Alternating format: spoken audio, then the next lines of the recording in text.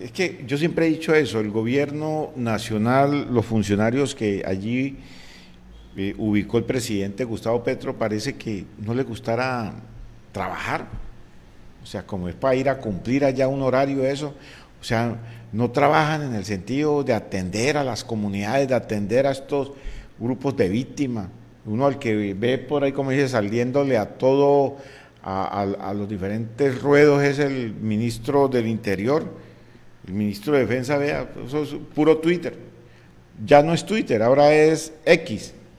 X. O sea, el gobierno de Gustavo Petro se está manejando a través de las redes sociales X.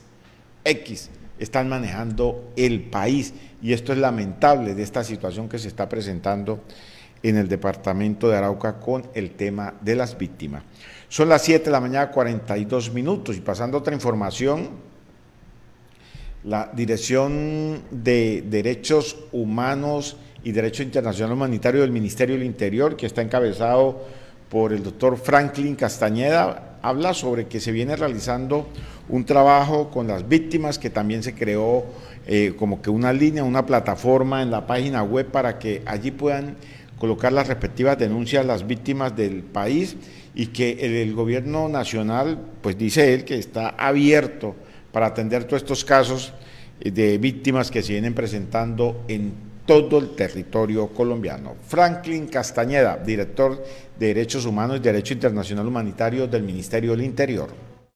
Como gobierno nos comprometimos con los defensores y defensoras de derechos humanos a avanzar en una política pública que garantice su vida, que garantice su libertad, su integridad personal y sobre todo que garantice su gran labor, la labor de defender derechos humanos de todas las personas en Colombia, en particular de las más excluidas.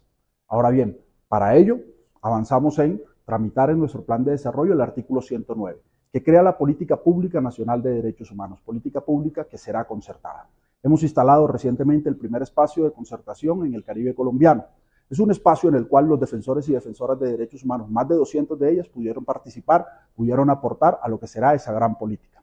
Hoy queremos compartirles que nos encontramos lanzando en nuestra página web del Ministerio del Interior los formatos, los diagnósticos y la propuesta de lineamientos de esta política pública. Nuestra gran apuesta es que en este 2023 logremos avanzar lo, suficiente para que en el primer trimestre del próximo año tengamos una nueva política nacional de derechos humanos que comprenda las garantías, que reforme la Unidad Nacional de Protección y que reforme la política de prevención de forma tal que podamos disminuir las violencias en contra de estas personas. Además de la participación directa, hemos abierto un portal en la página web del Ministerio del Interior www.mininterior.gov.com. En esta página web van a encontrar no solamente la posibilidad de leer lo que estamos haciendo, sino de participar directamente. Y allí, a partir de una serie de formatos, van a poder desplegar todas sus opiniones que van a ser tenidas en cuenta para la construcción de esta política. Vamos a estar en 14 territorios del país, pero además la opinión de ustedes que vamos a recibir de forma virtual va a contar y va a edificar la nueva política de derechos humanos de